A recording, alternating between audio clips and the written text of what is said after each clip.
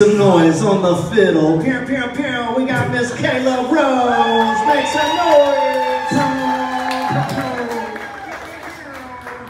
Sorry, that, that machine kind of dysfunctioned there for a I second. I gotta say, I've never had an introduction like that. That was That's, great. that's good. Love it. That's good. I actually got a, a sample pad. I wanted to start bringing it, just put some little fun stuff on it. Uh, now, speaking of fun stuff, Kayla Rose over here got a request for the Devil Went Down in Georgia. We got five dollars towards it. We need another ninety-five.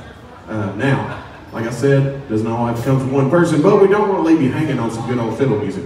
So we're gonna let her show out for a second, and we're gonna get out of her way and let her do her thing.